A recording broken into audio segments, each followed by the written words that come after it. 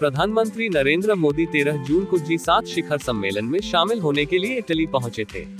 लगातार तीन दिन जी सात शिखर सम्मेलन में शामिल होने के बाद वो 15 जून को भारत वापस आ गए हैं। जी सात शिखर सम्मेलन में प्रधानमंत्री नरेंद्र मोदी ने इटली की प्रधानमंत्री जॉर्जिया मेलोनी से भी मुलाकात की।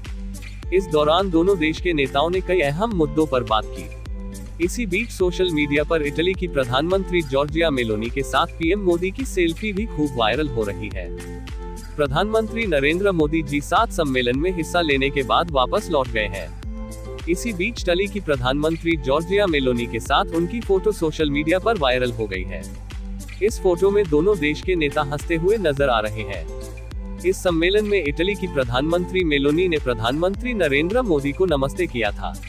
इसके बाद उनकी नमस्ते करते हुए फ़ोटो भी सोशल मीडिया पर वायरल हो गई थी।